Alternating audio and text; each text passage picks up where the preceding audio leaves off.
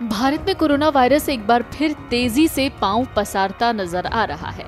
इस बीच स्वास्थ्य मंत्रालय ने भी एक डराने वाली बात कही है। मंत्रालय ने बताया कि देश के 18 राज्यों में कोरोना वायरस का एक नया डबल म्यूटेंट वेरिएंट मिला है। हालाँकि मंत्रालय का ये भी कहना है कि अभी तक आंकड़ों से स्पष्ट नहीं है कि देश में कोरोना के बढ़ रहे संक्रमण और वायरस के नए वेरिएंट के बीच कोई संबंध भी है। क्या कहते हैं रिपोर्ट्स कोरोना का ये नया वेरिएंट कई अन्य देशों में भी मिल चुका है। दरअसल पिछले कुछ समय से भारत समेत दुनिया भर में संक्रमण के मामले बढ़ रहे हैं। स्वास्थ्य मंत्रालय के मुताबिक कोरोना के नए वेरिएंट के अभी पर्याप्त मामले नहीं मिले हैं। ये वेरिएंट शरीर के इम्यून सिस्टम यानी प्रतिरक्षा तंत्र से बचकर संक्रमण को बढ़ाता है। कोरोना वायरस का ये नया म्यूटेशन करीब 15 से 20 फ़ीसदी नमूनों में पाया गया है और ये चिंता का विषय है, जो कि पहले के वेरिएंट से मेल नहीं खाता।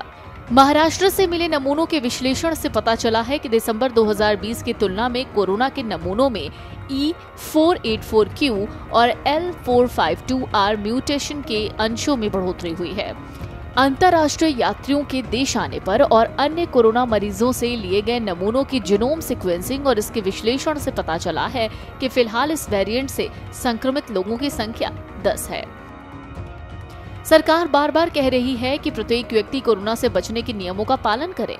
इसके अलावा सभी पात्र लोगों को कोरोना वैक्सीन लगाने की प्रक्रिया तेज करने को कहा गया है। Video desk Amar Ujala dot com. Download करें अमर उजाला ऐप और पाएँ खबरें लगातार। अगर आप ये वीडियो YouTube पर देख रहे हैं तो हमारे चैनल को सब्सक्राइब करें और बेल आइकन को दबाना ना भूलें। अगर आप Facebook पर ये वीडियो देख रहे हैं तो हमारे पेज को लाइक करें।